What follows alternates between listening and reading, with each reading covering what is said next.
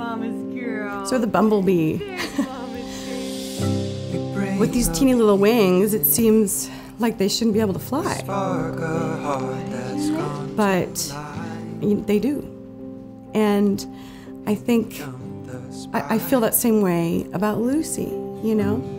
You stare like a new bird. You answer mother on the Even though she can't she can't talk, she's got so much to say, she's got so much to give. She lives such a full life. I have waited for you. She's known that, wow, I got a lot of expectations to live up to. You know, she's had to do her part in this thing. You know, it's, it hasn't been just Grace and I hoping and believing, it's been Lucia hoping and believing herself. I have waited for She just is the most extraordinary little person. You know, I just couldn't possibly, possibly love anybody more. You know, she just brings so much goodness to this world,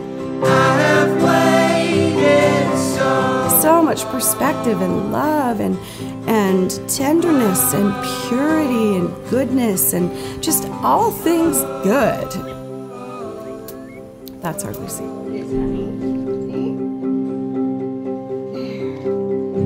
You made a bee. You made a bumblebee.